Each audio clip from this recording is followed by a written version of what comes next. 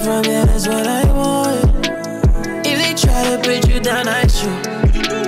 They can never wear the same shoes. They don't match up, is it lust if you down? I can take you.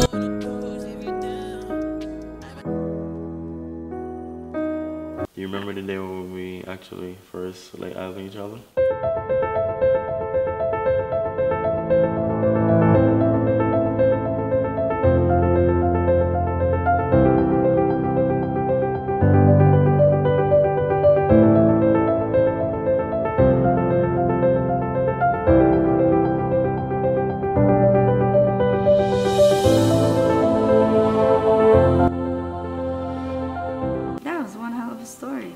That's where everything started for us. It was my first day of college and The first day of college I met her, Shane was like behind me on the vending machine. I wasn't thinking much of it. I was just like, it's a student there and he just wants to like use the vending machine or whatever. And I don't know. I try to get peanuts because I never, I'm not a fan of like chips and stuff like that. Uh, I didn't want to eat none of that stuff at that time. I was trying to like venge off to the vegan life. And uh, Doritos came out. I, I don't know. I could have sworn that I picked the peanuts, but Doritos fell out. And when that happened, I just didn't want to throw it out. So I turned around and I was like, hey, would you like these? And he was like, sure. And, he, and then he gave me his dollar. But I told him like, nah, nah, it's okay. I, I don't want your dollars. Like, you could totally have the Doritos. but I insist to give her my one dollar so that she can get the peanut that she wanted, and she actually took it and she get her peanut, and I asked her for a number, and she gave me her Instagram. He gave me his phone and said, put your number in my phone, like that. So I was just there like, you're brave. Like, you know, you didn't even say, hey, what's your name? Do you come to this school? He was just like, put your number in my phone. So I was like, do you have an Instagram? So I gave him my Instagram and he didn't use Instagram much, so he didn't know you could DM at that time. And I gave him my Instagram. And from there on out, he totally, like, he just, he just walked by me like he didn't even know me from that point on. And When she gave me her Instagram, I thought she wasn't interested in me, you know? So I didn't stress it, but I just feel like it was one of those situations where she's not interested, let's keep it moving. So that semester, I was here in school and I would just walk past her like, you know, she's not interested, nothing lost, no love lost, just keep it moving. And for the entire semester, I would just focus on running track. I didn't care for nothing else but to just get grades and run track. And then the following semester, I saw Lena and she called me and one day I was in the cafeteria and I'm sitting there. They had like these black leather accent chairs. They were like single chairs. So I'm sitting on it and I see him coming down the stairs. So the accent chairs were like in front of the stairs, but you definitely have a walkway. But they had some accent chairs against the wall. And he was coming down the stairs and I was like, um, I was like, hey. I was like, hey, hey, like, hi, do you see me? Excuse me. I was like, you remember me? And he was like, yeah. I was like, oh, like I finally get to talk to him because when I gave Shane the Doritos, it was like 7 o'clock in the morning. I was rushing to class. I didn't even know what building I should be in, what class I should be in. I was so hungry. I didn't have no time to get breakfast. And then I just walked by this building, seen the vending machine, went in there. I didn't even belong in there yet. I couldn't even take classes in that building yet until I actually got tested and, and I had to pass a, a science test to get in the science building. So when I see him come down the stairs, I'm like, yo, do you remember me? I finally got a chance to talk to him.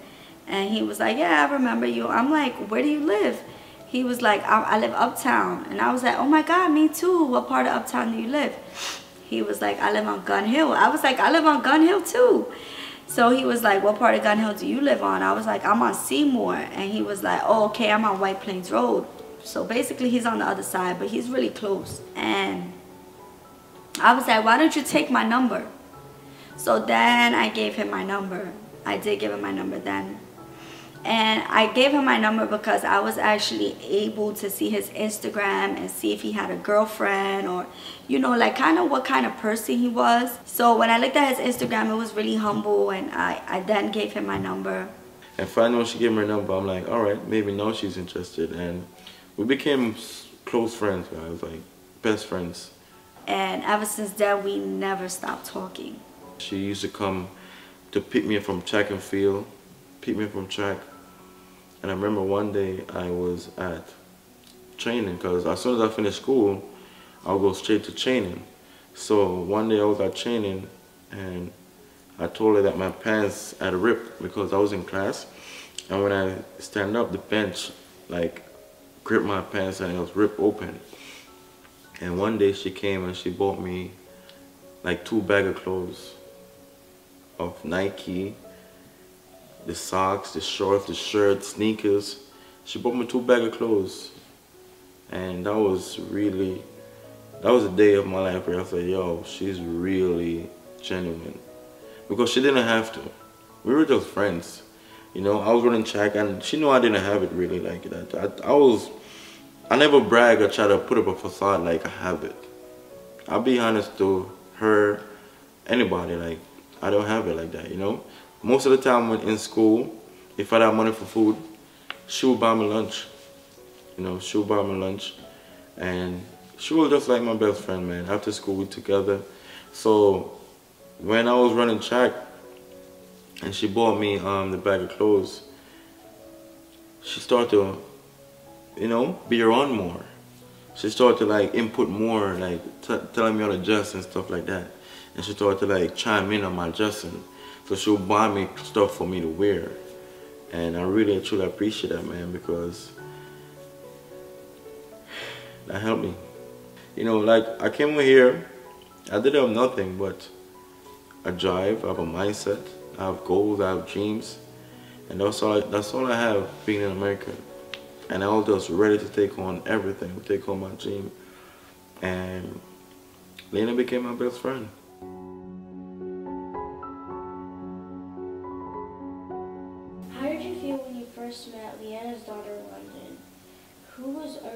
Two years old at the time. How did you navigate becoming a father figure in her life? Meeting London changed my life. It was so special for me. When I first met my wife, she actually, she told me she had a daughter, but I never met London. She told me that she had a daughter. I think we started dating, and I was kind of iffy about um, not that I was gonna get away from her run away from her. I was like, I wasn't sure, you know, because I know I heard of consequences of dealing with um, a girl with a kid. I wasn't sure if I was ready for not responsibility, but I wasn't sure if I was ready for any drama that to come with it. Because when I met her, her baby father at the time was in jail. So I wasn't sure if how he gonna react when he get out of jail, what type of guy he is or anything. So when he, when she first told me she had a kid and everything and we dating, I sit and I wasn't, I was kind of like skeptic. I took a moment and I called my mom and I talked to her. And I said, I really like this girl, man. I really do. You know, we were best friends and I really, really like this girl. And when she have a kid, I'm not sure how to go about it. And my mom said to me on the phone, was like, she said, listen, I have four kids, including you. If I should date a man right now, and he should tell me that he's not interested in me because I have four kids, how would you feel? And ever since then, that opened my eyes. You know, that opened my eyes 100%. So whatever consequences to come with me dating Liana, having a baby, having a daughter, I was ready for it, whether it be drama or anything. So I look at it like that. You know, so off the rip, that just take everything away. Like, you know, I'm going all in. And ever since then, I was so excited. I, I went all the way in with it, man. I, I give my full self. So when I first met London, you know, I remember the first day I met London, um, I came to the house and I came to tutor Lynn on some math it was a math class she had. She had a test coming up or something, and I came to like help her with math. And London didn't like me at first. And I understand why, because she wasn't used to a man being around in the house and stuff like that. So when I came around, I met Lena mom, because Lena was living with her mom. I met um, Lena's stepdad, Mike, and London was a little angel running around because she was walking, talking very clear. And she was bold with her speech because she would walk up to me and say, why don't you just go home? So right then and there, I know I have a mission to take on.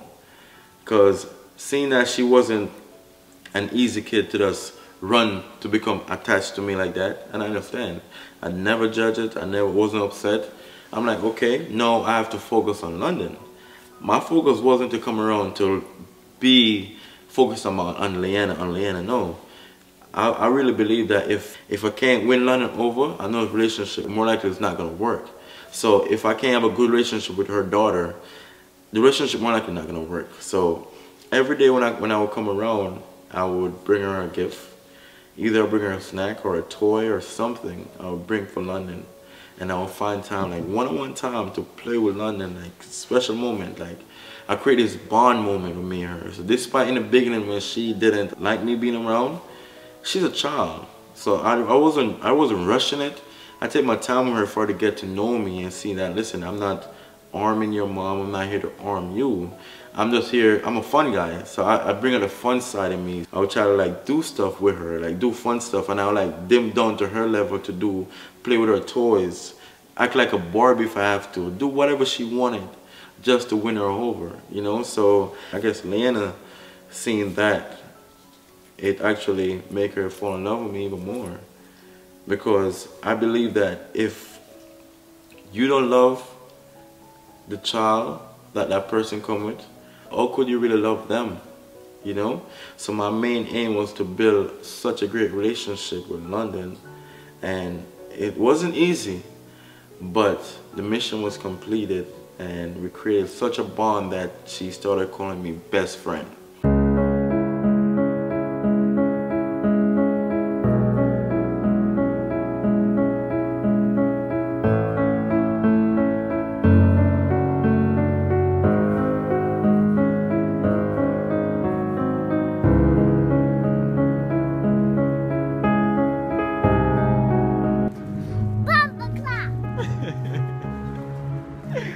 How's they going today?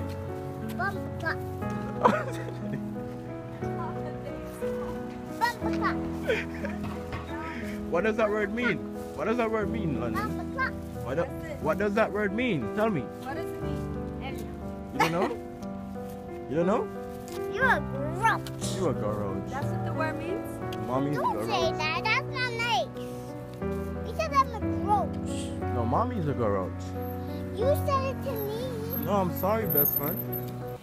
So everybody know me as best friend to London. Like she constantly call me best friend. Me and her everywhere. So many times where um Elena go in class, me and her outside, I'm bonding with London, playing with London.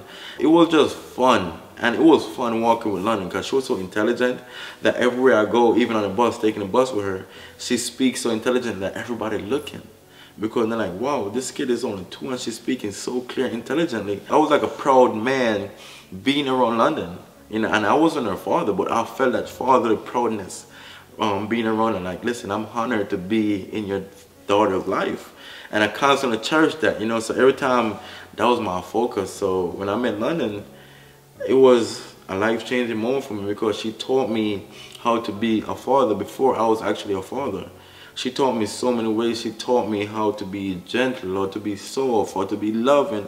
All those aspects I have to find within myself to bring out to actually make her um, create a bond and create a relationship. I cherish those moments like it's yesterday. I cherish those moments and I hold on to them.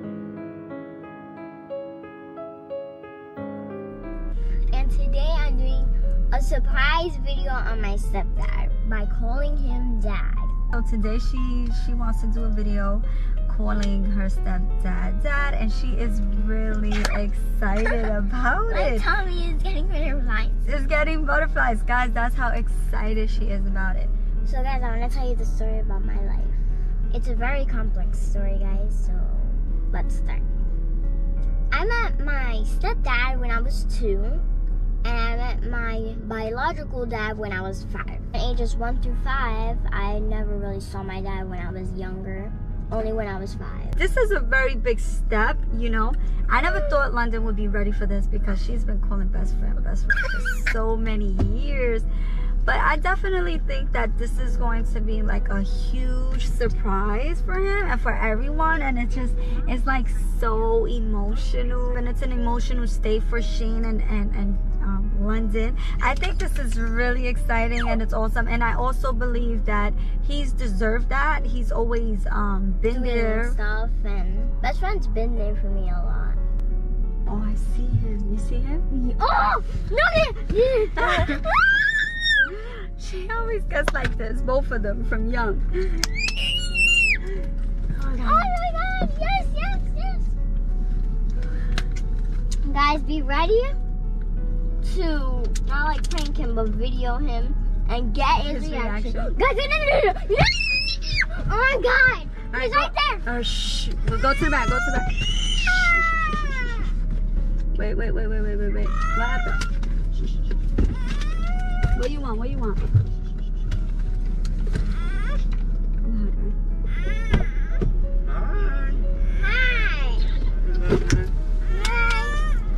What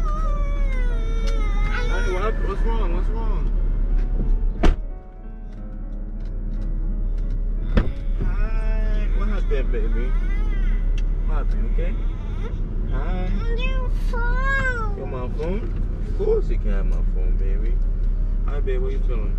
Hi, babe. How are you? Thank you guys for picking me up again. No problem. I love coming to Manhattan every day. Yeah, what you want, doggy? Bye. Hi, baby. Hi, babe. Hi, You You guys okay? Yeah. Hi. Hi. You guys, you sleeping? Just chilling right now. Can you sit? Well, no, let's go. Thank you for picking me up, baby. Let me How was your day? You just call me dad. What happened? Man, my heart just now. She called me dad.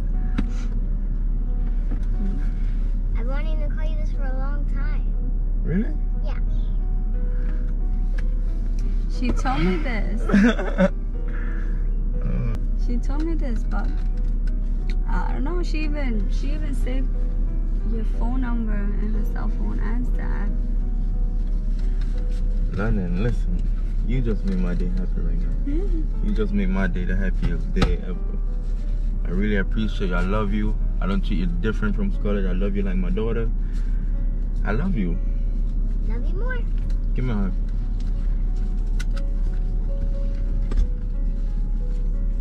Don't worry about anything, okay, London? I remember that day. I never forget that day. I don't think I don't think there's a day that I wake up that I don't reflect on that day. You know? The day when London took that leap and she called me dad, it was just a life changing for me. You know? Even though before she called me dad, I was actually being a father figure for her. I was being everything for her, you know.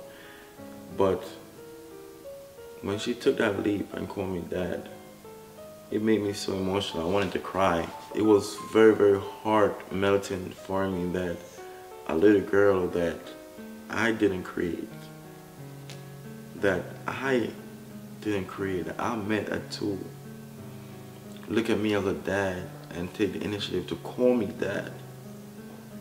I feel, I felt honored. Until this day, I feel honored. You know, I'm blessed, super blessed that I could be that for her. You know, because trust me,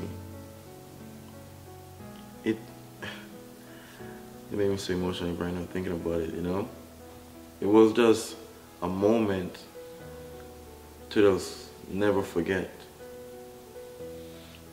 I love that little girl. Even though she's not my blood, she's my baby. the bond we created over the years, the memories we created, it's just unbreakable, you know? And that day solidify everything, not just to us, but to the world, that our bond is unbreakable, no matter what. So it was just a life-changing moment for us, and ever since she never, she never stopped calling me dad. So until this day, even in, in the house, I would just sit back and reflect on myself. I'm like, wow, I am blessed that another child that I didn't create put me in a position for me to be their dad. And that's my daughter. We might not share the same last name. We might not have the same smile or same face, same look. I might see another man smile when she smiles. But she's my baby. And she's gonna forever be my baby, along with my baby Scarlett and my baby Shane. Those are my kids.